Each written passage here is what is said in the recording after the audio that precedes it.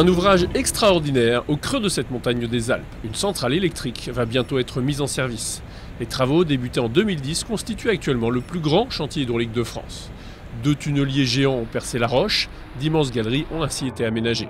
Au total, le chantier Romanche-Gavet a permis d'extraire 310 000 m3 de matériaux, soit une centaine de piscines olympiques. Pour cela, plus d'une centaine d'entreprises est intervenue et jusqu'à 300 compagnons ont travaillé en même temps 24 heures sur 24, 365 jours par an. C'est un projet qui consiste à construire euh, un nouveau barrage, une galerie de 10 km de long, connectée à des cavernes souterraines par un puits blindé de 160 mètres de haut. Et dans ces cavernes souterraines, nous allons installer euh, deux groupes de production euh, hydroélectrique. Un tel chantier exige une sécurité optimale. EDF a choisi pour cela APAV. Plusieurs missions lui ont été confiées la coordination SPS et la prévention sécurité, le contrôle des soudures sur le blindage des puits de chute et sur les dissipateurs d'énergie, les contrôles de protection basse tension et des prélèvements des mesures d'air pendant le creusement par les deux tunneliers. Au total, trois coordonnateurs SPS APAV ont été mandatés au plus fort de l'activité. Nous menons des actions euh, de terrain de façon très pragmatique, beaucoup d'échanges, de la vigilance partagée. Euh, on prend le temps d'expliquer aux gens sur le terrain leurs risques propres, les EPI qui doivent bien porter. Euh, donc on va au-delà de la gestion de la coactivité. Dans ces galeries souterraines, il faut installer les énormes machines qui produiront l'électricité. L'objectif est ambitieux, remplacer les 6 centrales et les 5 barrages existants par cette unique centrale dernière génération qui devra fournir 30% d'énergie supplémentaire.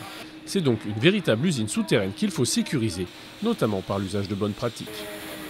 Je présente une bonne pratique qui est mise en place par l'entreprise J General Electric qui consiste en début de journée à euh, évaluer les risques et à mettre en place les pratiques euh, nécessaires pour pallier à ces risques et responsabiliser les intervenants, donc suivant un cadre qui est prédéfini et qui est mis à jour chaque journée.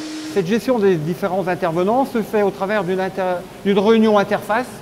Cette réunion interface a lieu en chaque début de semaine où les différents lots présentent les travaux qui sont à venir et au niveau de la maîtrise d'œuvre EDF, ils sont organisés pour éviter euh, les zones de coactivité. Aujourd'hui, les derniers aménagements sont en cours, comme la pose de cette turbine dernier cri. Dans les différentes salles enterrées, APAV veille au moindre risque. La particularité de la mission telle qu'elle est réalisée ici, c'est qu'à la demande d'EDF, on intègre ce qu'on appelle les risques propres. C'est-à-dire qu'en tant que coordonnateur, on s'arrête en général au risque exporté-importé, hein, la coactivité entre entreprises. Et si on va au-delà, donc on regarde aussi en matière de risque propre s'il y a des choses qui sont mal maîtrisées. EDF nous attend aussi, au-delà de cette prestation, sur le comportement et la culture sécurité de qui? Du maître d'ouvrage, du maître d'œuvre et surtout des prestataires. Aujourd'hui, c'est véritablement une relation de confiance.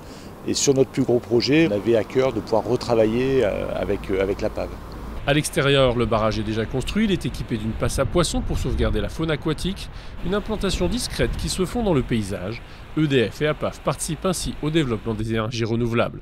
Le groupe de production totalisera 92 MW pour une production annuelle de 560 millions de kWh par an, soit l'équivalent de la consommation d'une ville de 200 000 habitants.